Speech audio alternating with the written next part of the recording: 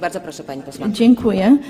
Y, Pani marszałek, szanowni państwo, panie premierze, Magneti Marelli to lider na międzynarodowym rynku w projektowaniu i produkcji komponentów i systemów high-tech dla przemysłu motoryzacyjnego.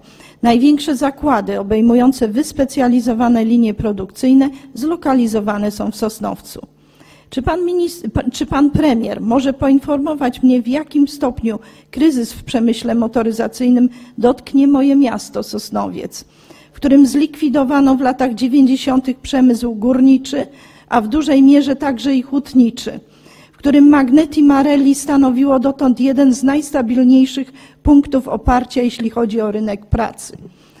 Jaki rząd przygotował plan ratunkowy dla gmin i powiatów, gdzie dominuje, dominują przemysł motoryzacyjny i przemysł związany z branżami energochłonnymi y, wobec tego nadciągającego kryzysu, a także mm, kryzysu związanego także z wejściem w życie paktu klimatyczno-energetycznego?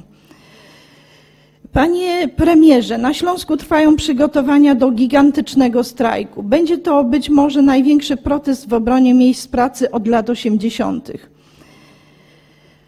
Nasze przestrogi i monity wyrażane dotąd w interpelacjach długo pozostawały bez echa, a dziś, kiedy ten problem narasta, zamiast konkretnych ustaw i rozporządzeń słyszymy w odpowiedzi o dyskusji w ramach międzyresortowego zespołu do spraw wzrostu konkurencyjności przemysłu motoryzacyjnego, dla którego dopiero od niedawna partnerami do rozmów stali się ci, którzy przestrzegali przed dramatyczną sytuacją w przemyśle motoryzacyjnym.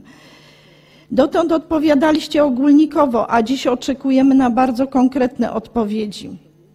Proszę odpowiedzieć, jakie konkretne rozwiązania legislacyjne oraz rozporządzenia ministra wprowadzające zachęty do zakupu nowych aut przez Polaków oraz przyczyniające się do takiego rozwoju infrastruktury umożliwiającego wykorzystanie w przemyśle motoryzacyjnym alternatywnych, ekologicznych paliw i napędów, y, kiedy takie konkretne właśnie rozwiązania mogłyby wejść w życie, Y, bo właśnie słyszymy w tych naszych odpowiedziach na interpelacje dokładnie takie propozycje.